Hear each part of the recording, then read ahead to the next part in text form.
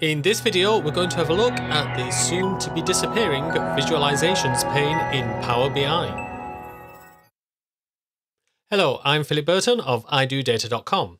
So here we have Power BI and we have the three standard panes, filters, visualizations, and data which used to be called the fields pane.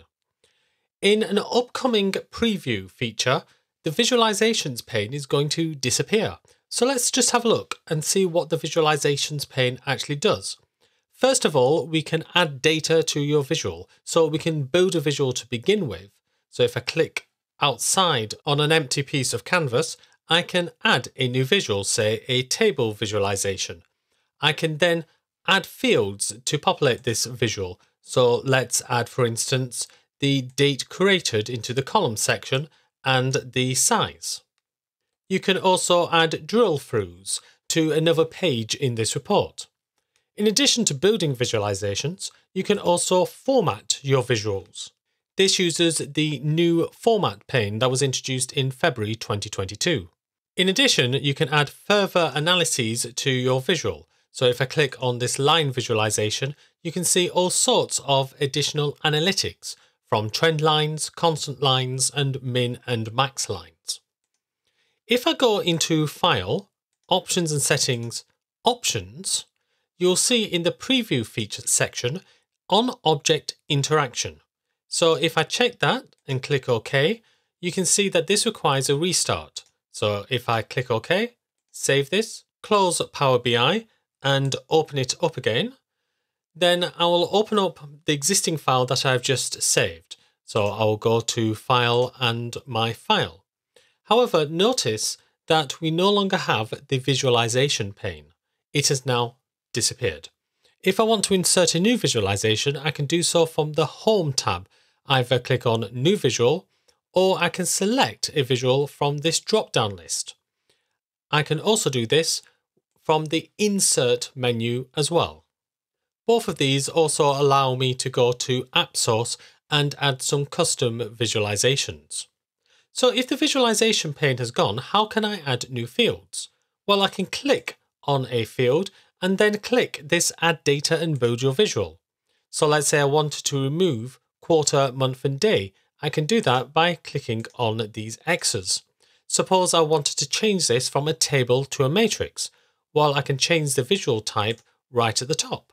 I can also get the computer to suggest a type. So it's suggesting a line chart, for instance. So I'm going to turn this back into a matrix. Now, if all of the add visuals is now in this build a visual section, where is the formatting? Well, the format pane is now its very own pane. If I go into view, I can show the format pane and here it is. Now I can also collapse it into an icon on the right hand side so I can gain access to the data and the format panes very swiftly. Now, another way of formatting is to click on a visualization. Notice that we've got this black outline with circles and then double click. So this now changes this into the formatting phase. So I can right and click on something, say for instance, an axis and go to format axis values. Then the format pane would appear. So if I close it and do that again, it will appear and it will go to that particular section. So if I right and click on the y-axis, you can see we're now editing the y-axis section. But I can also scroll up and down. So it's just showing me one particular section. It's not saying this is the only section that I can use. Additionally, I can double click on items. So if I double click on this year element, then I can change it. So year bracket, date created, close bracket. So I can do this without having to go to the format pane at all. And this is why there is such a difference between these two different modes. When we've got this black surround, I can use the visualization as I have before. So I can right and click and go to copy, copy visualization. I can also use the new format. And again, this takes me into the format view. If I were to right and click, then I get different options. Also notice that there is no separate analytics pane. If I go down the format pane, you'll see in this line chart, I've got all of my analytics here. For example, a trend line. Now, not all of the analytics have been brought in. Microsoft is working to add this.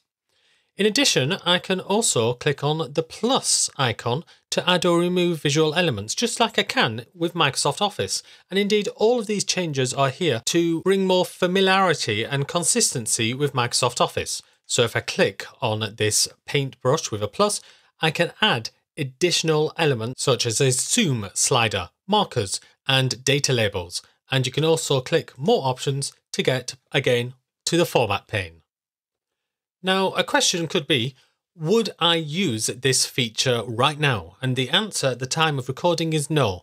Not all of the things that I could do in the old version are here in the new version. For example, I can't add a min or max line like I could in the old version. So for right now, I wouldn't use it. However, it is good to get yourself familiar with the functionality because at the moment, this is in preview. But later on, Microsoft will probably be rolling it out to all users. And so if you've got a bit of experience with it now, that will help when they roll it out. But for now, I would leave this unchecked. Thank you very much for joining me. In the next video, we're going to have a look at three data analyst IT certifications that you should consider, including one for Power BI. To watch it, please click on it on the end screen that's coming up. I hope you have liked this video. If you did, then why not click like? And why not subscribe and click that bell? That way you'll be notified of any new videos. I'm Philip Burton of idodata.com. Thank you very much for joining me in this video, and keep learning.